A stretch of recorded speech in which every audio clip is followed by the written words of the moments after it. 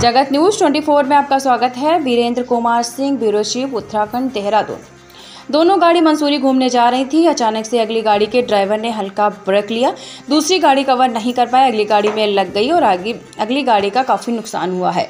दोनों गाड़ियाँ देहरादून की थी। आपस में तय हुआ कि नुकसान हुआ, उसका भुगतान पिछले गाड़ी वाले को करना होगा। क्योंकि पिछली गाड़ी के ड्राइवर को यह ज़िम्मेदारी बनती है कि आगे चल रही गाड़ी अचानक से ब्रेक लेती है तो उसे बचा लेना चाहिए। इसलिए पिछली गाड़ी वाले को, अगली गाड़ी वाले को उसका नुकसान की भरपाई करनी पड़ेगी और काफ़ी लोग इकट्ठे हो गए थे। लेकिन कोई जान माल की हानि नहीं हुई है, बहुत छोटा सा एक्सीडेंट है। गाड़ी वाले को काफ़ी महसूस हुआ क्योंकि उसकी गलती थी, उसको, वह खर्चा उसको देना है। आपस में जो लोग खड़े हुए थे, उन्होंने उनसे कहा कि तुम भी गाड़ी लेकर देख कर नहीं चलाते। अगर देख कर चलाते तो दूसरे की गाड़ी में एक्सीडेंट नहीं होता।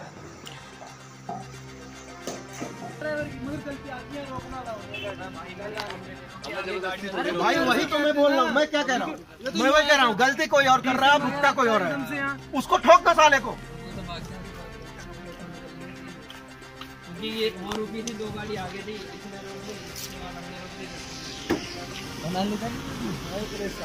हाँ जी अरे लगा यार। बच्चों के हाथ पैर बच गए मेरी गाड़ी मेरी। उसमें भी टच नहीं थी मैं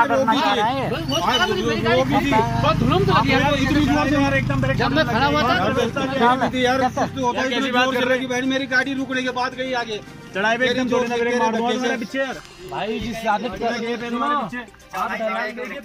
अरे तो भाई हमने भी तो मारे ब्रेक तो भाई आपकी इसकी गाड़ी है ज़मीन आसमान का ये तो देख लीजिए। तो तभी तो इसने तो तभी तो इसने कंट्रोल कर लोगे आप हैंड ब्रेक से। ये नहीं हो सकती। इसीलिए तो तभी तो इसकी वजह से तो है बाकी क्यों छुट्टी अगर ये सरकार रहता है घर वालों को ठुक गई थी सरकार पे इधर।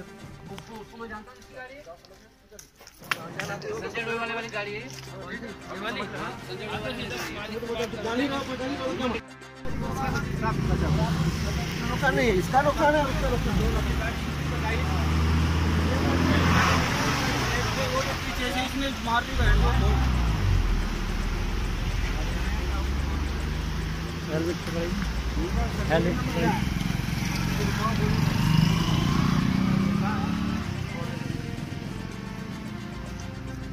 उसका तो पीछे से लगी ना उसकी तो। बम्पर गया उसका। हाँ। ना एक तो सेल्फी खड़ी एक तो जो आगे गाड़ी थी ना वो तो सेल्फी खींच रहा है? और दो इंडिगो खड़ी थी उसके पीछे जैसी मैं जैसी चढ़ाई